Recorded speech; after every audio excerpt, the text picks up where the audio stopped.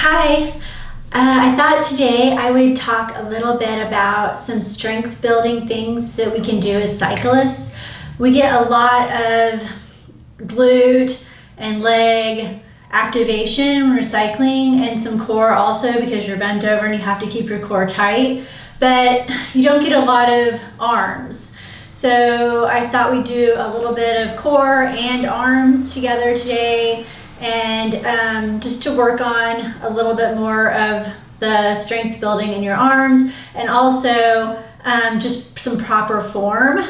So um, come to a seat and then we're just gonna warm up our lower back because that's another area that I know as a cyclist, like this area down here gets super tight because your the reason why is your hamstrings are constantly pulling on those muscles that are attached to your lower back. So you get um, a lot of a lot of times um, pain going on in those areas. So it's good to even before you ride to stretch out that area of your back. And I know even when I wake up in the morning, this is something that on me that's completely tight. So you can either sit like I'm sitting or you can sit on your butt and just like do a little, this is a seated cat-cow. Just put your hands on your knees, and go forward and back. And just stretch out, and also good to stretch out your upper neck. I know when I'm riding for a long period of time, my shoulders get very tight in this area and um, it just like tense up when I'm riding. So it's good to always like work on your neck a little bit too. So, do a little cat cow. Sorry, my phone's ringing. Um, so then go in circles too. Go to the left, and then let's go to the right. Okay, then we're gonna move our neck around in circles. Go down, go slow. You don't need to go fast doing this because you wanna feel the stretch as you're going, but not too tight, so don't pull on it too tight. So just come, just a little bit of neck. Roll your shoulders out. Go forward with your arms and come back. And flex your muscles and bring your arms back. And let's grasp our hands together with our fingers and pull. Stretch out your shoulders. Hmm. Don't forget to breathe.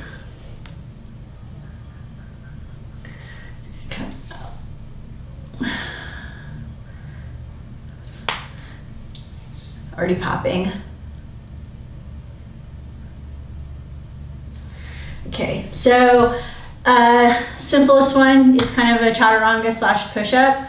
So I'm gonna show you the proper form. Hands spread wide, uh, fingers all out, um, shoulder width. And then you're gonna make sure you have a little bit of cupping in your hand. So place your hands shoulder width apart on the mat. Step back. Make sure your shoulders are completely above your wrists, even a little bit further ahead. Then we're gonna come down slowly to count of five. One, two, three, four, five. We're gonna stop right here. You're not gonna go all the way to the ground. One, two, three, four, five. Back up. One, two, three, four, five. Pull up into downward dog. And as you pull up into downward dog, pull in your core muscles tight. Grab your, like, grab them together. Just think you're like sucking in your stomach. And rest here for one, two, three, four, five. You can bend your knees. And come forward. We're gonna down. One, two, three, four, five. Hold that. One, two, three, four, five. One, two, three, four, five. Come back in downward dog. Rest for a second. Right. Come forward again. Ready? One, two, three, four, five. One, two, three, four, five. One, two, three, four, five. Back and rest for a second. This should be easy. You're resting in between, so you should have no problem doing these, right? Right? so we're gonna do five of them. So we're gonna keep going. Ready? Come forward. One, two, three, four, five. One, two, three, four, five. One, two, three, four, five. Back in normal dog. If you can just do one of these, it's fine. We're done five today though. Ready, come forward. One, two, three, four, five. One, two, three, four, five. One, two, three, four, five. When you come up, every time you flip from your low chaturanga to high chaturanga, don't sag. So make sure this isn't happening. You know, you get tired, this happens. That's not good for your lower back. And it's not helping your core at all. So if that starts to happen, it's okay to come to your knees and just like be down on your knees. It's totally fine. Just make sure you have, you pretend like you're on a piece of wood, a plank. So you're coming down, holding it, and coming back up. Then rest. So that's another way to do that, that particular movement. So another thing, side plank. Side plank is another good um, way to work on some arm strength and core strength. So you're pulling up here, you're trying to get this bottom foot as flat as you possibly can. So think about not using this foot, you can here, but push, push up on that, see that back foot? I'm pushing up. I'm getting my bottom foot, the one in front, as flat to the ground. There's an arch shape here. I'm reaching up. You can do this. Then we're gonna go to the other side. Hand down, come to the other side. Try to get those hips up. Actually, it's easier when you get your hips up and you're feeling the engagement through here. We have an arch going on. You lift this foot if you feel like it. Come back to the other side.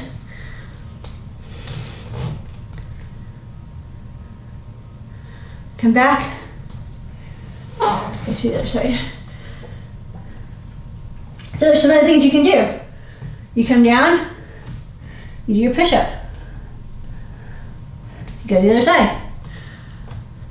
Come back, do your push-up, go to the other side.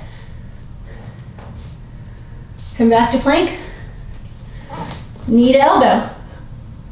Back, other side. This takes a lot of balance too. Think about on your bike when you're balancing. I forgot to do the knee, okay. Side, knee, back, roll to the side. Down, knee, back, roll to the side. Down, we're gonna go knee push up. Back, to the other side. Down, knee push up. Back, the other side. Here, side plank, knee up to elbow, elbow to knee. One, two, three, four, five. Okay, come to the other side, do the same thing, or bring this knee down. This still works. One, two, three, four, five. So either way, you're getting activation in your arms, you're getting activation in your core, which is really important. Activation, some in your legs. You ride your bike all day long. You don't need a lot in your legs. Your legs are good. The legs need stretching. So um, let's go into Happy Baby. For some reason, guys hate the name of this. You can call it Dead Bug. Um, we call it Happy Baby because that's what your baby is. So come up with your feet and just relax here.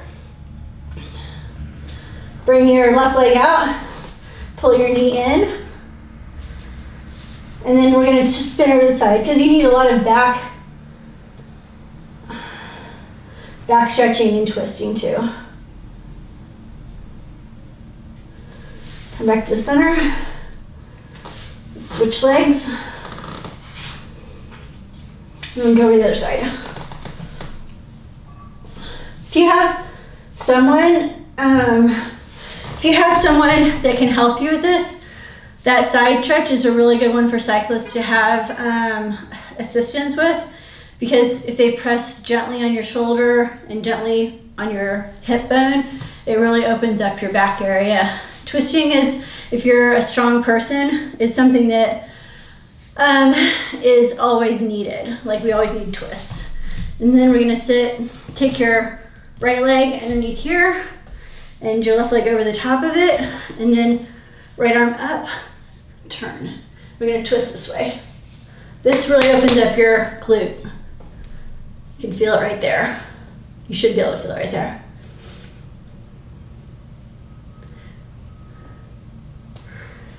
Go the other way.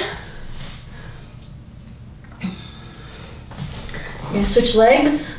Bring the left one underneath, right one over the top. Just come as far as you can. If you can't do this whole thing, you don't have to. Just do as much as feels comfortable to you. Um, pull your chest up, reach your arm up, twist. The point of this is to get your chest over as far as you possibly can and twist your lower back your glute.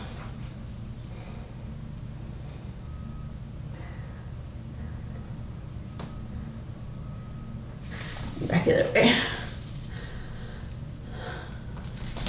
So hopefully this has been helpful to you and fun. Thanks so much for joining me.